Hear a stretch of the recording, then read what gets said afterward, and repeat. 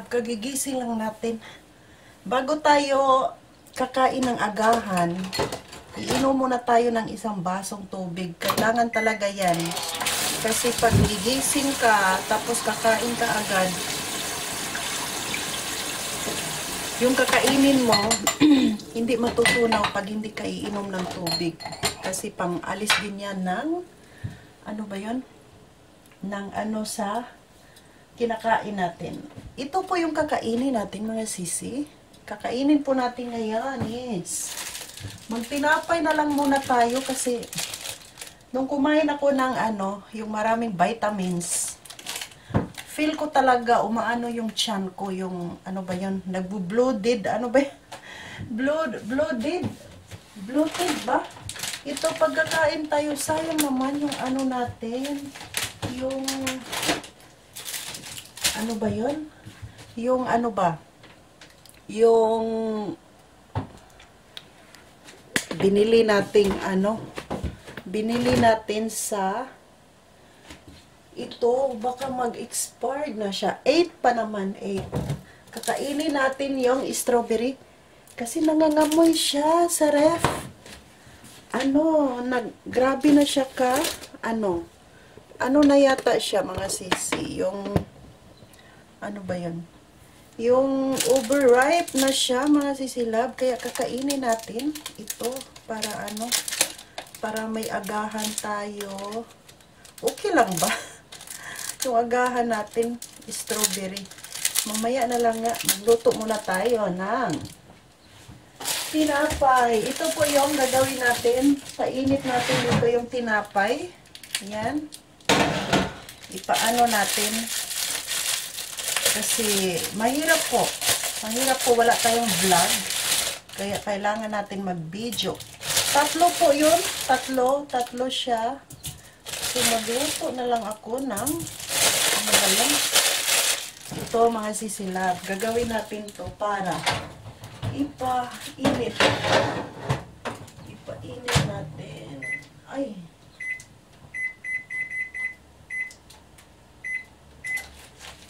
Ipa-init natin.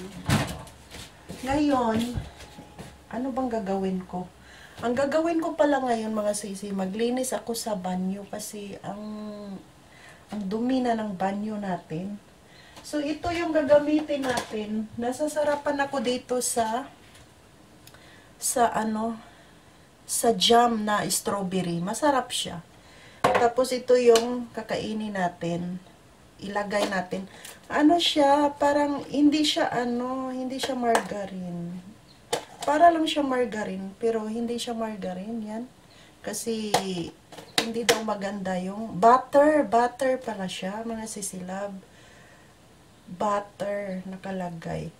Hindi maganda ang margarine sa ating katawan kasi ano siya, naging sebo, sebo yung taba.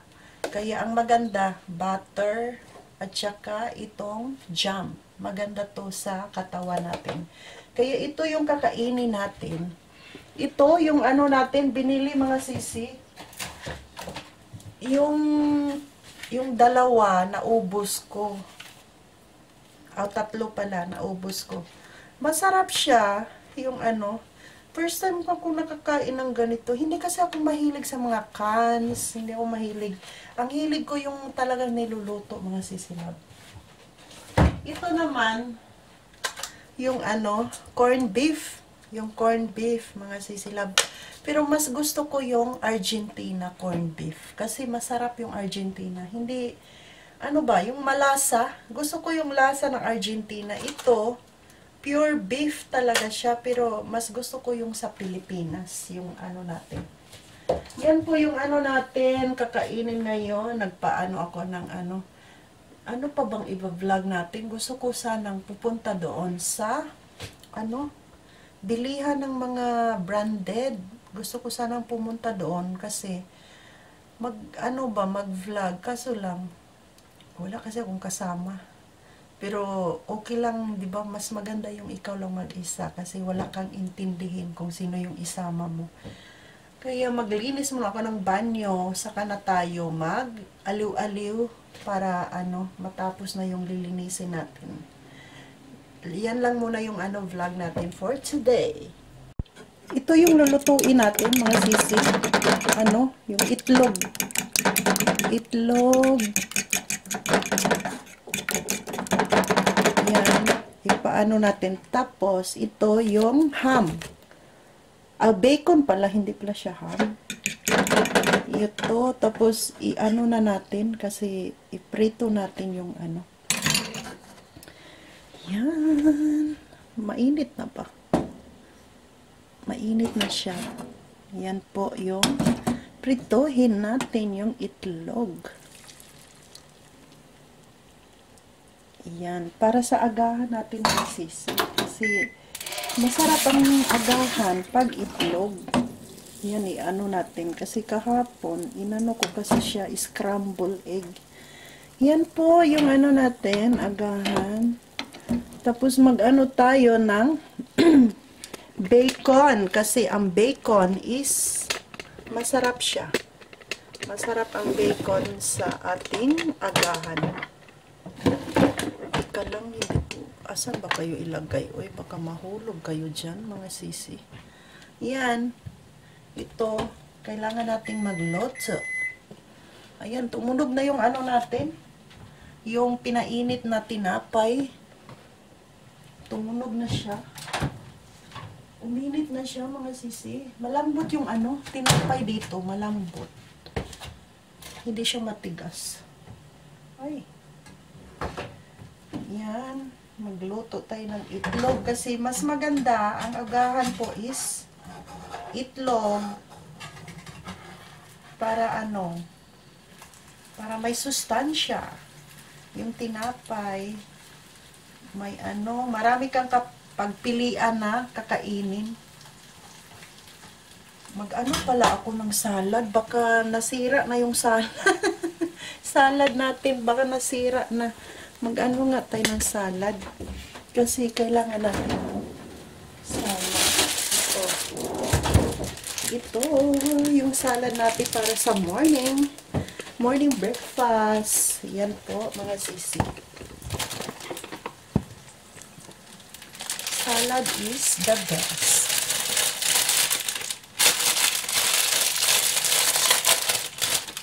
Dito mo lang siya ilagay. Ready to eat na siya. Ready to eat.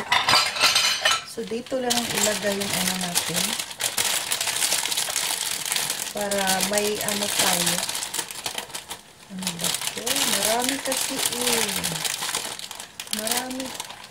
Marami siya nasisira lang sa ano ref pag hindi mo siya kakainin. Ayan ha, ano na yung ano natin? Yung lulu, niluluto natin na ano na. Ito.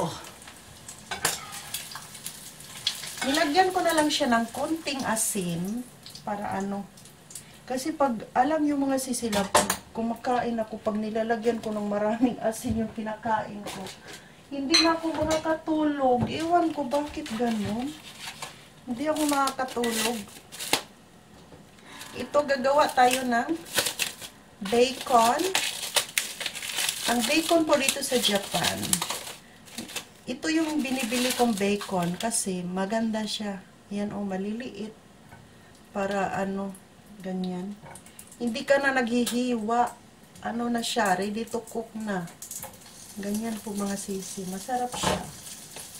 Kaya, itry nyo rin dyan sa Pilipinas. Ewan ko ba kung ano, malalaking hiwa yata yung bacon sa Pilipinas. O, maninipis. Meron ding maninipis, kaso lang ganito yung binibili ko. Kasi maliliit siya. Tapos makapagluto ka na. Marami-rami. Ganyan. Yan po yung ano natin. Ito, kasi sayang pag hindi natin iubos lahat. Sayang po.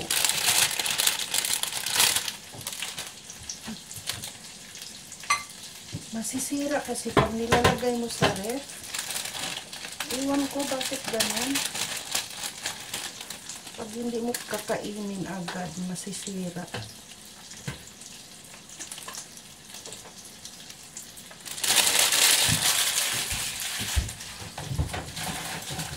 Tapos, lagyan natin siya ng, ano, lagyan natin ng, ano ba yun? Ito yung ilalagay natin.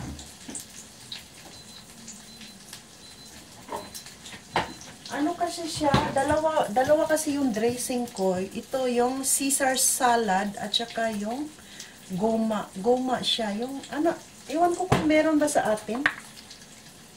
Tingnan natin anong masarap. Kasi yung Caesar, may pagka, ano siya, may pagka, ito? May pagka, ano, maasim. Kaya ito na lang, kasi umaga naman. Ito muna yung kakainin natin. Hala, ang dami. Ganun ako pag naglagay ng ano, marami. Kaya, dami, hindi pala pwede pag nasubrahan.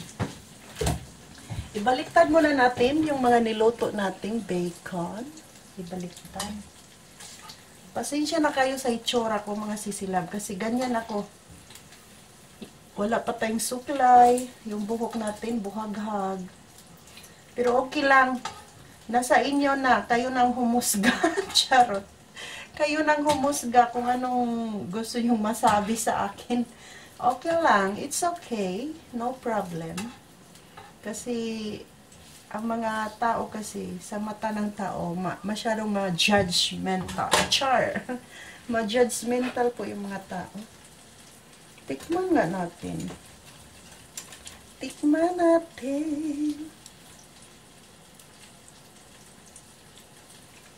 Hmm. Masarap yung goma. Goma na ano, sauce. Mm. Mahap.